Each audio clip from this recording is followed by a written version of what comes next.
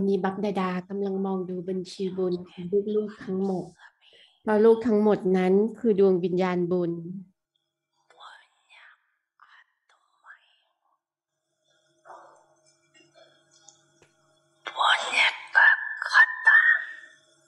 ลูกกำลังสะสมบัญชีบุญ เป็นเวลาหลายต่อหลายชาติเกิด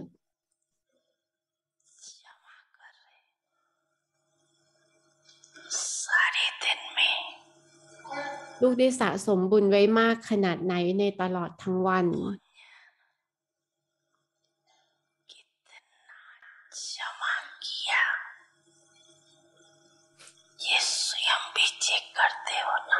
ลูกเองนั้นสามารถตรวจสอบสิ่งนี้ใช่หรือไม่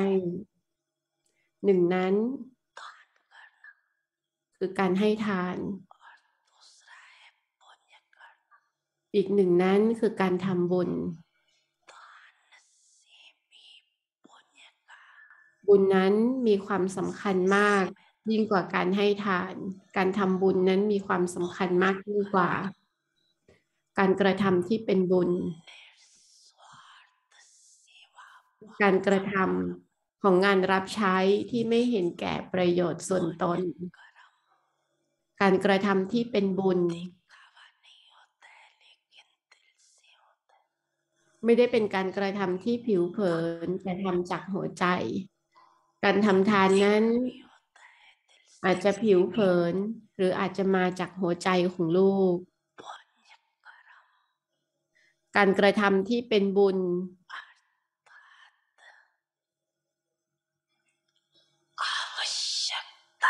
คือการกระทำที่ซึ่งลูกนั้นได้ให้ความร่วมมือกับดวงวิญญาณในเวลาที่ต้องการ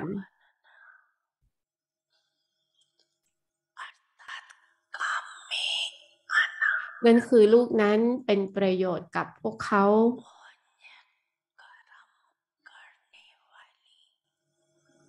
ดวงวิญญาณที่ทำการกระทำที่เป็นบุญ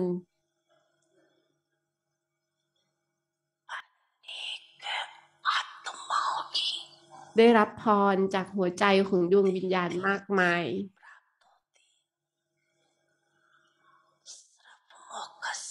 พวกเขาไม่เพียงแต่พูดว่าสุคริยาหรือขอบคุณด้วยปากของพวกเขา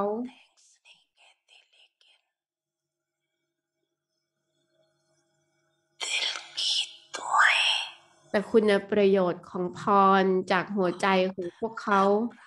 ได้ถูกสะสมเอาไว้ในวิธีการที่แฝงตัว ดวงวิญญาณบุญ จากพรของพระเจ้า และพรจากดวงวิญญาณที่เขาได้รับ จะเปี่ยมล้นไปด้วยผลในทันที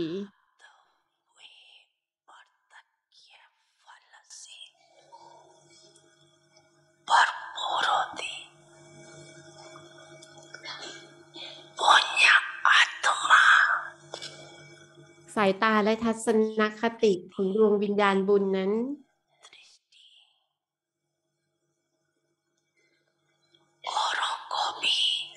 จะให้ประสบการณ์ของพรแก่คนอื่น ๆ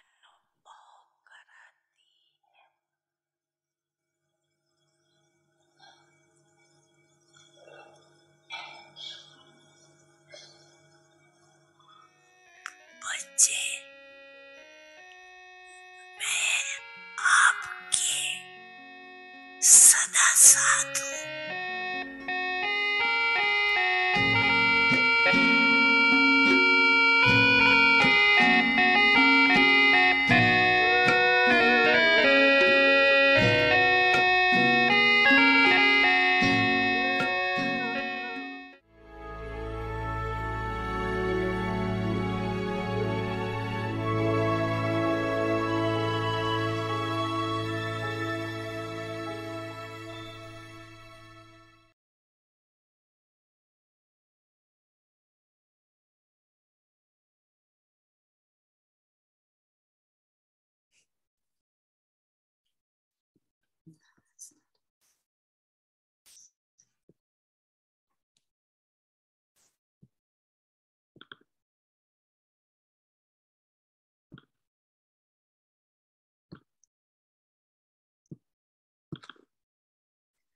Om Shanti.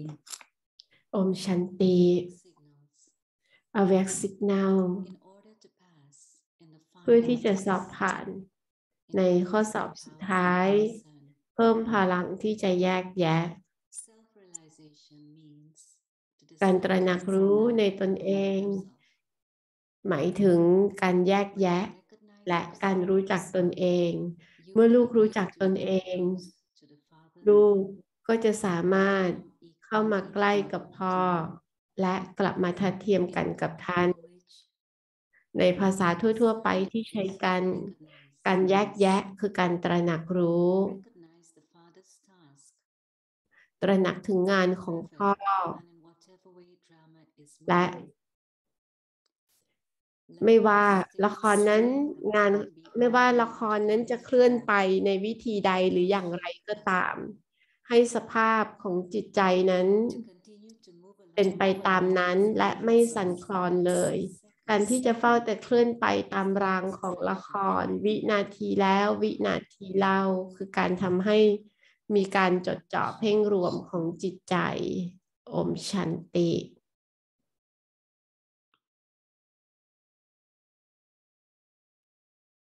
Om Shanti. Welcome to Vikti Parivar. ยินดี Today ต้อนรับสู่ is อวัติปาริวานค่ะ creating วันนี้ heaven inside 21 นะคะ ourselves. สร้างสวรรค์ขึ้นมาภายในตัวเราเอง Now we will listen to Mohinididi. การแสดงออกของความเป็นเทพ เดี๋ยวเราจะรอรับฟังจากโมฮินีดีดีนะคะ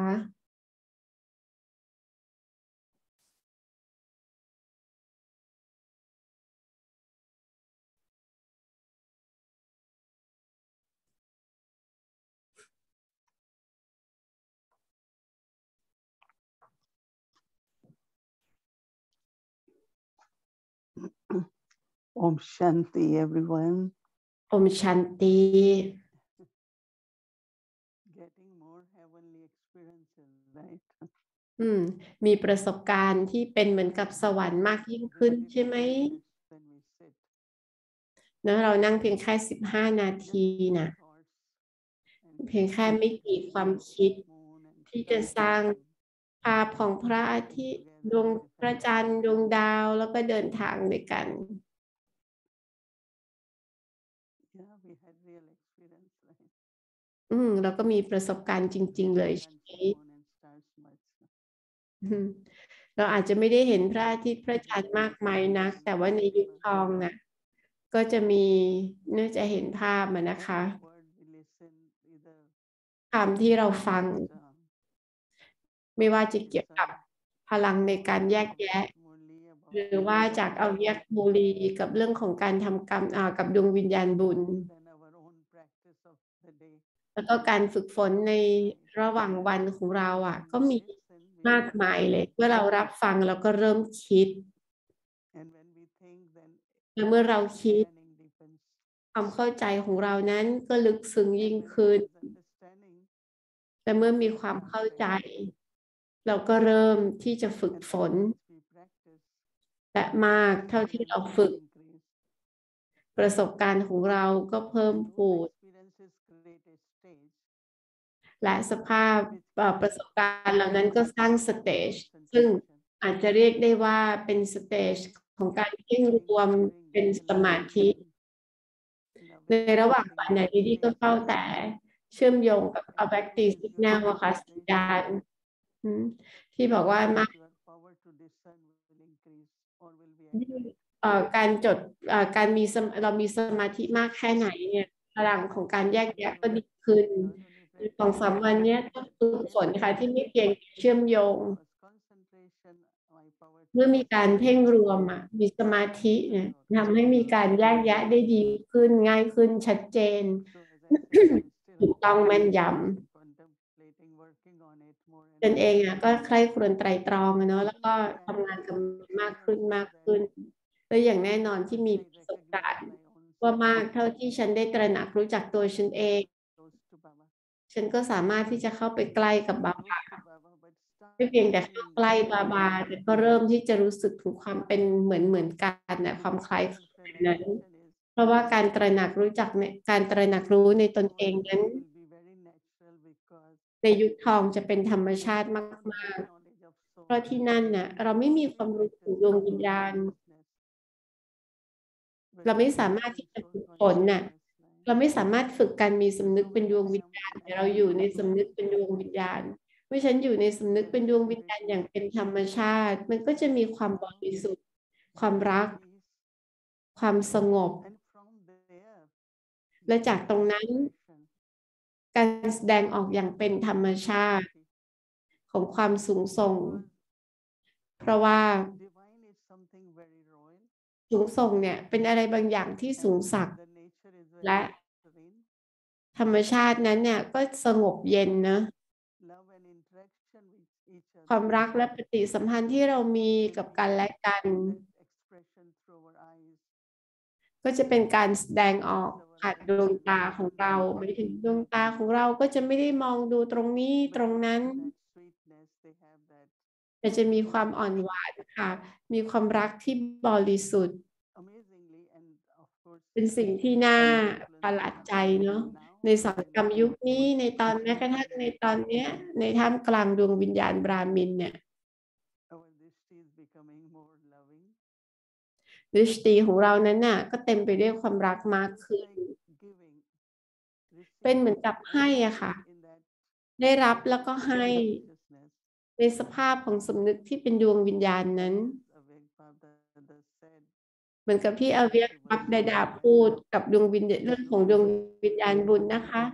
สิ่งที่เราได้ทำอะค่ะ ก็คือการรับพร because of เนื่อง timely จาก cooperation เวลาเอ่อ ที่เราให้ความร่วมมืออะค่ะ many are still หรือ wondering บางคนนั้นอาจก็จะกำลังสงสัยค่ะถึงความต่างเนาะระหว่างการกระทำที่สูงส่งกับการกระทำที่เป็นบุญ just something from the heart you're doing อะไรบางอย่างที่เราทำจากหัวใจจริง whatever ๆแน่นอนฉันรู้อะว่าอะไรก็ตามที่ได้รับมอบหมายหรือเราจำเป็นต้องทำ เราก็ทำด้วยความซื่อสัตย์นะเราก็ทำด้วยความรักอย่างยิ่ง แล้วก็พยายามจะทำให้มันดูถูกต้องแม่นยำแล้วก็เพอร์เฟกแต่อันนี้มันก็ดูเหมือนจะเหนือไปกว่านั้นอีกนะ มันเป็นเหมือนกับ สมมุติว่าใครบางคนทำอะไรบางอย่าง แล้วเราก็อยู่แถวๆนั้น เราก็ไม่คิดโอ้ไม่ใช่หน้าที่ของฉันหน้าที่ของคนนั้นทำไปเถอะอะไรอย่างเงี้ยแต่หากเรามีบางช่วงเวลาเนาะที่เราบอกว่าเอาให้ฉันช่วยอะไรไหมมันก็ทำสร้างให้เกิดความแตกต่างเยอะมากกับดวงวิญญาณนั้นแต่บอกว่าเออเขาบอกว่าไม่เป็นไรหรอกฉันโอเค You know Brahma Baba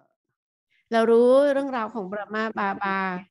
การใส่ใจเป็นพิเศษของท่านอ่าก็ทำให้เหมือนกับว่าโอ้หลอมละลายหัวใจอะ even uh, you have you are traveling so you have take away อืม the อาจจะเดินทางค่ะ เอาอาหารไปอะคนก็อาจจะต้องแบบว่าจัดรถให้เตรียมนู่นเตรียมนี่ให้ แล้วก่อนที่จะไปบรหมาบาบาก็จะบอกว่า เอาทุกอย่างไปแล้วหรือเปล่า เอาอาหารไปแล้วไหม ใครจะพาไปเอ่อใครจะพาไปส่งก็เอ๊ะทำไมบาบาจะต้องทำทั้งหมดนั้นแล้วฉันก็จำได้ ฉันเองก็ทำแล้วฉันก็พยายามควบคุมเอ่อเพราะว่ามันเป็นสิ่งที่ฉันได้รับมาจากบาบาเนาะทุกคนเองอะคนจะรู้สึกว่าได้รับการดูแลเอาใจใส่สังคมยุคเนี้ยคือการเป็นของพระเจ้า ครอบครัวเดียวกัน so charitable soul right ดังนั้นเนี่ย นี่คือดวงวิญญาณ So, บุญนะคะ uh, you know like as much I am in มัน the เป็นเหมือนกับว่ามาก state เท่าที่ฉันอยู่ในสภาพของ concentration kind totally aligned with every moment of drama เนื้อเราเองก็สอดคล้องกันไปกับทุกๆขณะของละคร ไม่แม้กระทั่งตั้งคำถามเลยด้วยซ้ำทำไมเป็นแบบนี้ทำไมถึงเป็นแบบนั้นทำไมมันถึงไม่เกิดในวิธีอื่นและบางครั้งอะค่ะ เราก็ไปอย่างละเอียดอ่อนมาก ๆนะคะบาบาเรียกว่าเป็นเหมือนกับเอ่อความปั่นป่วนอยู่ข้างใน but we observe drama. แต่เราเองอะก็สังเกตการละครแล้วก็เล่นบทบาทของเรา บางทีเนี่ย เมื่อเราไปเผชิญกับบางเรื่อง I have to play. บทบาทที่ฉันต้องเล่นเนี่ย Playing, I will say it's แม้กระทั่งหลังจากเล่น somewhere that quality doesn't remain. บางทีเนี่ย คุณภาพมันอาจจะไม่ได้อยู่ ไม่หลงเหลืออยู่แต่ฉันก็เฝ้าแต่สังเกตการณ์ชื่นชมรับรู้ Detached. มองดูทุกคนอย่างเป็นผู้สังเกตการณ์ที่ละวางแล้วก็เล่นบทบาทของฉัน So creating that divine sanskar, heavenly ดังนั้นเนี่ยในการสร้างสันสกาที่สูงส่งเหล่านี้ค่ะคือส่วนหนึ่งของการฝึกฝน There is lot if we go into every aspect, but just แล้วมัน remember อาจจะมีเป็นเรื่องเยอะมากนะที่ต้องเข้าไปไปเผชิญกับทุก ๆ เรื่อง แต่ขอให้เพียงแต่จดจ conscious state and ำกันอยู่ในสภาพของสำนึกที่ religion เป็นดวงวิญ itself, ญาณ religion กับศาสนาของตนเอง ในยุคทองความรักความบริสุทธิ์ความสงบนั้น อย่างเป็นธรรมชาติเลยที่จะปรากฏขึ้นก็คือธรรมชาติที่สงบเยือกเย็นของเราแม้กระทั่งผ่านอวัยวะประสาทสัมผัสความสูงส่งนั้นน่ะก็จะมีการแสดงออกค่ะ กับบุคลิกภาพนั้น เหมือนกับผู้คนน่ะ ไปเพื่อจะได้นิมิตของเทวาเทวีในวัดน่ะนะคะ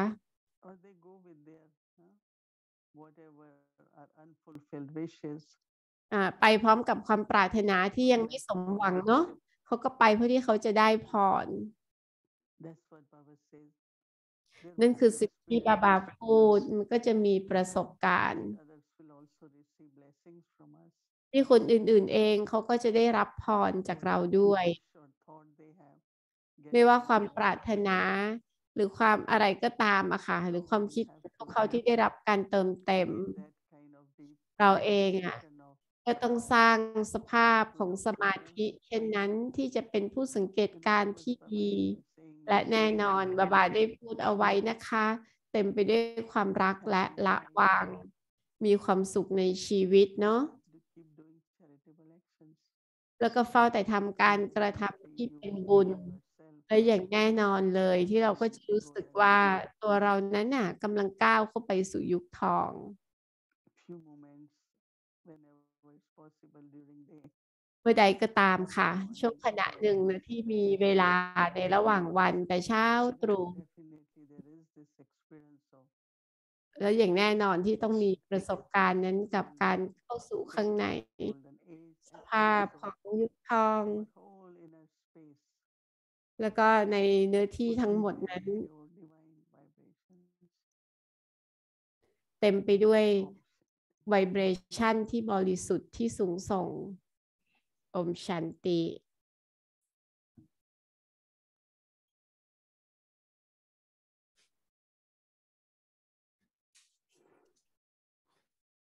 Om Shanti Didi. อมชันติ Shanti. ดีดีอมชันติบราเตอร์เคน Beautiful what you've been saying and สิ่งที่ very ดีดี much พูดถึงนั้นน่ะสวยงามมาก since your class in ๆตั้งแต่ได้ Hindi. เห็นคลาสตั้งแต่ภาษาฮินดีของดีดี But reading today's Muli, I บุรีของวันนี้เนี่ย a connection. ฉันเองก็สร้างการเชื่อมโยง I ใน the หนังสือ end, อดีเทพเนี่ยในตอนท้าย Avyak Muli on the เป็น golden age, อเวียก age. มูลีพูดถึงยุคทอง I was in Madhaban at that time. ตอนนั้นฉันอยู่ในมัทุบัน Um, and the next week, แล้วอาทิตย์ถัดไปค่ะ in the golden age, but what about คุณ the ตาบอกว่าลูก golden ลูกนั้นน่ะโบยบินไปในยุคทองแล้วในสังกัดยุคลาในยุคทองก็โบยบินอะเนาะซึ่งบาบาเองก็ชื่นชม ยุคทองอย่างมากแล้วทีฮันไดบาบาเองก็ชมชื่นชมสักคำอย่างมาก แน่นอนเลยมันก็มีการเชื่อมโยงกันเชื่อมโยงถึงกันฉันเองก็เพียงแต่จำมูลีนั้นคิดถึงมูลีนั้น แล้วก็สร้างการเชื่อมโยงอ่าบาบาเองในวันอาทิตย์พูดเยอะมากนะคะปุญญาคามาเนี่ยนี่คือบุญที่นี่คือยุคที่เป็นบุญนะคะ ฉันก็คิดว่า ถ้าพูดให้ด้วยความแบบจริงใจเนี่ยคำว่าบุญกับคำว่าปุญญาเนี่ยปุญญามันเหมือนกับสิ่งที่ศักดิ์สิทธิ์สูงส่งแล้วการกระทำที่ศักดิ์สิทธิ์สบายถึงว่ามันไม่เหมือนกับการทำทานเนี่ยแม้ว่าการทำทานกับทำบุญเนี่ยมันเป็นอันเดียวกันนะคะในจิตใจของคนตะวันตก แต่เมื่อดีที่เริ่มต้นพูดถึงว่าบาบาเนี่ย ท่านให้การดูแลจากหัวใจยังไง ก็เป็นปุญญาคามานะคะการทำเป็นบุญเนาะฉันเองจำได้ว่าในช่วงเวลาต้นๆน่ะอืมบาเองก็จะพบกลุ่มต่างชาติ ก็อาจจะยังไม่ได้เรียกนะว่า double foreigner ด้วยซ้ำตอนนั้นน่ะ ก็พบกลุ่มในช่วงปี 70 นะคะ ช่วง 70เนี่ยในห้องในหอบาบา มองให้ดิชนีบอกว่าเพราะฉันไม่ได้ต้องการลูกทุกคนก็ช็อกนะพ่อไม่ได้ต้องการเขาบอกว่าพ่อให้งานรับใช้แก่ลูก เพราะว่าลูกอะจะต้องไปยุคทองพ่อไม่ได้ไปนะพ่อให้งานรับใช้กับลูกทำให้ลูกจะได้กลับมาเพอร์เฟกฉันก็คิดว่านับจากช่วงเวลานั้น ฉันก็ตระหนักว่าฉันเองอะต้องทำปุญญาคามา ฉันต้องอุทิศสังกรรมยุคเพื่อที่จะทำ เพราะโอ้ใช่แหละเนี่ยมันก็คืออันเนี้ยแหละ แล้วสำหรับดีดีล่ะได้รับคัดชิ่งที่ต้องอุทิศชีวิตของดีดีกับงานรับใช้ในการทำปุญญาคามา เกิดอะไรขึ้นกับดีดีเรามาหาบาบาเราเห็นบาบาแล้วหลังจากนั้นเราค่อยตระหนักเนาะว่าบาบาเนี่ยใส่ใจเราดูแลเราจากจิตใจยังไง แล้วสำหรับดีดีล่ะ ที่ดีดีสุดดีดีต้องอุทิศชีวิตของดีดีเพื่อทำการกระทำที่เป็นบุญแบบเนี้ย going back 60 plus years. อืม But, uh, ย้อนไปหกสิบกว่าปีเนาะ you know, when I saw our daddies, that เมื่อฉัน time, ได้เห็นเหล่าดายดี้ของเราอะ ตอนนั้นก็เป็นเหล่า I ซิ look ส at เตอ them, ร์ you know, there was เมื่อฉันมองดูพวกเขามันก็ feeling and, uh, เป็นความรู้สึกที่สวยงาม expression of love, honesty, เป็นการแสดงออกของความรักความซื่อสัตย์ การปรากฏตัวของสิ่งสูงสุดค่ะมันมีเยอะแยะมากมายเลยในบุคลิกภาพของเขาทุกท่านเลยนะคะฉันบอกโอเค ตอนนี้เนี่ยเออฉันตอนนั้นฉันสิบห้าสิบหกอะหลังจากสามสิบสี่สิบปี ฉันก็จะเป็นบีเคเหมือนกันเออฉันก็ไม่คิดว่าฉันจะมีการเปลี่ยนแปลงได้ในทันทีอย่างนั้น แต่เมื่อฉันได้ยินงานของพระเจ้าอะ เมื่อเร็วๆเนี้ยฉันบอกว่าอะไรก็ตามที่พ่อทำฉันก็ทำเนอะฉันจำได้ว่าในช่วงเวลาที่ยังไร้เดียงสาเนี่ย ฉันก็ไปเยี่ยม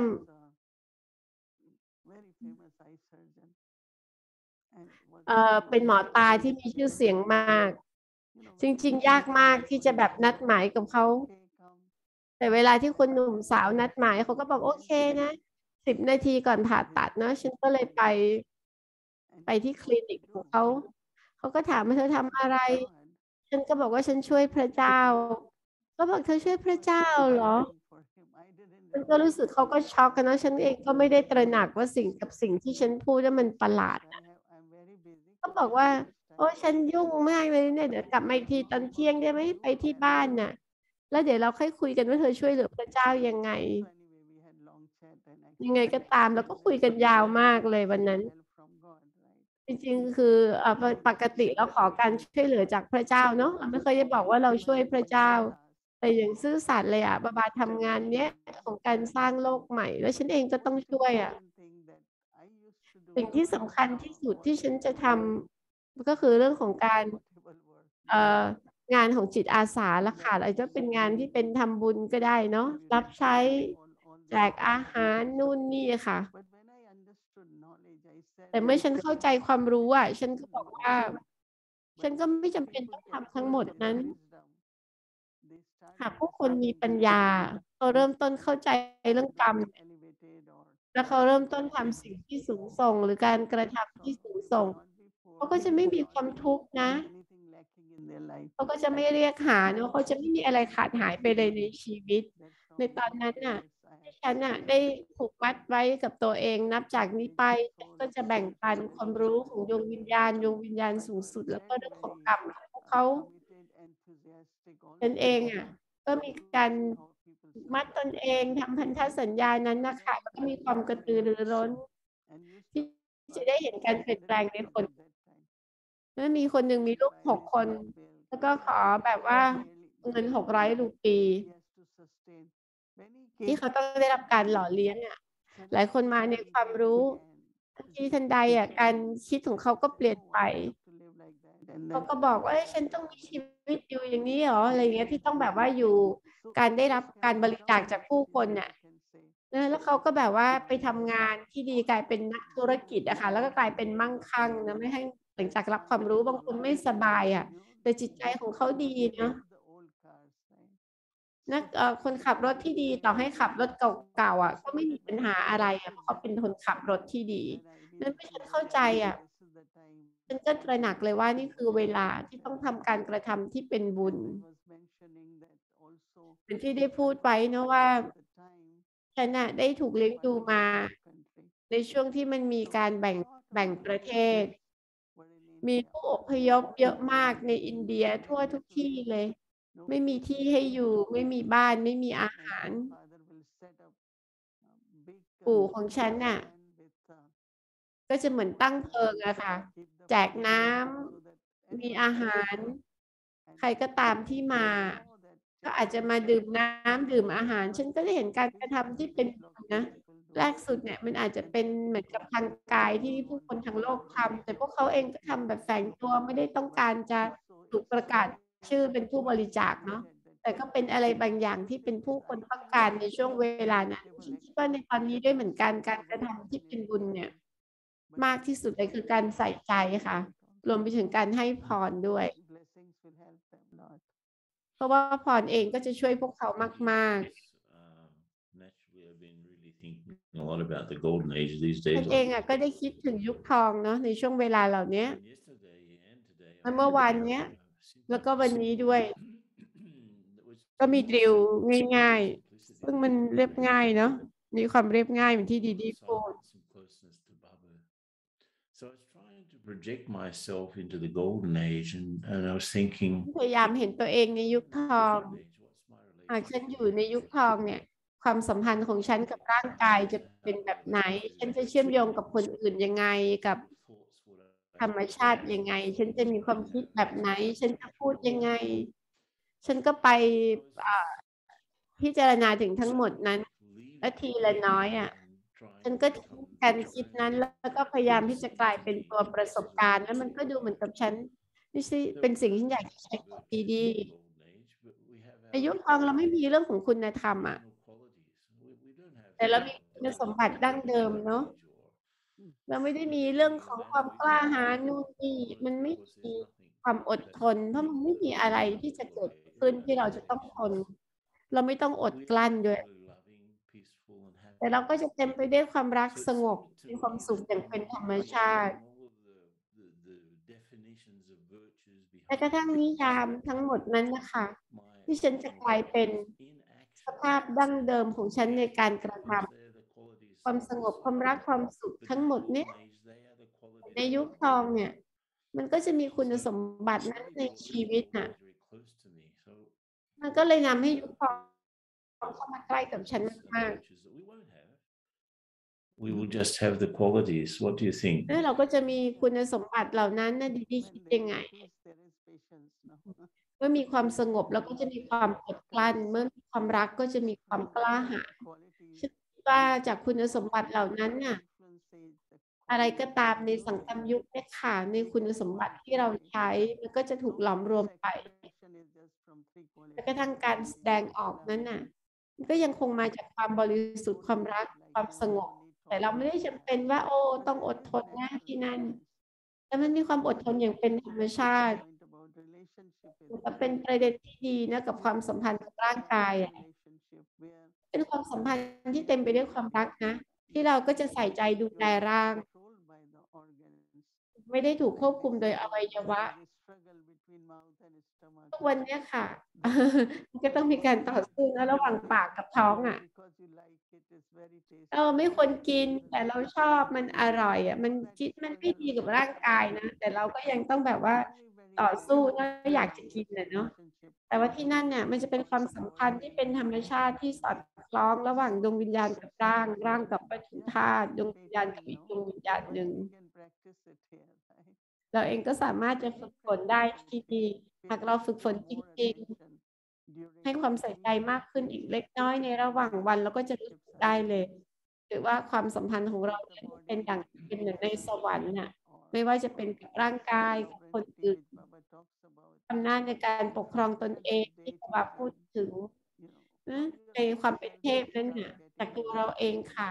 เราก็จะเริ่มที่จะมีความรู้สึกที่สูงส่ง มันเป็นความรู้สึกที่สวยงามนะ Emerge all that now. Yeah, ก็ I- I ทำให้ love ทั้งหมดนั้นปรากฏขึ้นมาตั้งแต่เดี๋ยวนี้เนาะฉันน่ะชอบประเด็นที่ดีดีพูด ในทุกๆขณะของละคร ในบทบาทของเรากับบทบาทของคนอื่น และอันที่จะเป็นรากฐานจริง ๆ ของความสอดคล้อง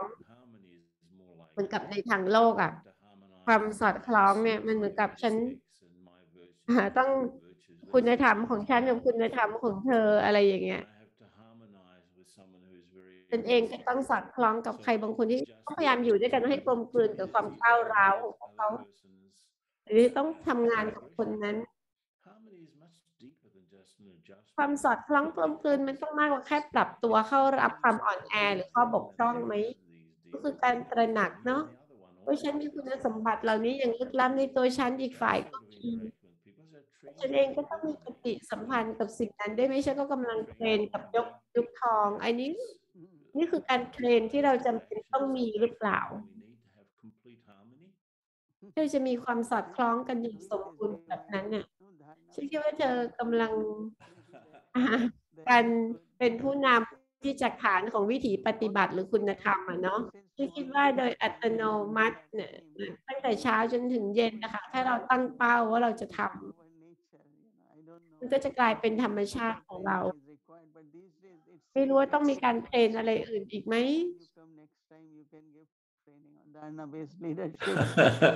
อ่าก่อนหน้าจะมาก็มาทำเทรนนิ่งนะ มันเป็นแรงบันดาลใจเนี่ย มันจะเป็นต้องมีการเตรียมตัวเองนั่นไม่ควรใช้คำว่าเทรนนิ่งหรอกแต่เป็นการเตรียมตนเองที่เราจะสอดคล้องอยู่กับทุกคนกับทุกๆสิ่งเพราะนี่คือเป้าหมายของสังกรรมยุคใช่ไหมใช่โดยเฉพาะอย่างยิ่งในช่วงท้ายของสังกรรมยุคแบบนี้กระบาบอกว่าการกระทำจะเพิ่มขึ้น การขยายตัวเพิ่มขึ้น แต่กันนั้นเราอะก็ยังต้องให้ความใส่ใจและสร้าง ธรรมชาติที่เป็นบุญ ธรรมชาติที่สูงส่งที่เต็มไปด้วยความรักของเรา Uh, um, that's, I mean, that's our great fortune. So เป็นโชคที่ยิ่งใหญ่ thank you, Didi. ขอบคุณ Really ดีขอบคุณ clearer for me. ที่ทำให้ทุกสิ่งนั้นมันดูชัดเจนสำหรับฉันอืมการบ้านนะคะ แล้วเดี๋ยวเราเตรียมตัวฟังมูลีเนาะ inside ourselves สร้าง expresses สวรรค์ขึ้นมาภายในตัวเราเอง การแสดงออกของความเป็นเทพวันนี้ฉันฝึกฝนสันสกาของยุคทองของการมีชีวิตที่ง่ายดายและสูงสักด้วยการเฉลิมฉลองการเปลี่ยนจากร่างเก่าไปสู่ร่างใหม่ค่ะ transitions from an old to a new body. Om Shanti. อมชันตินะคะ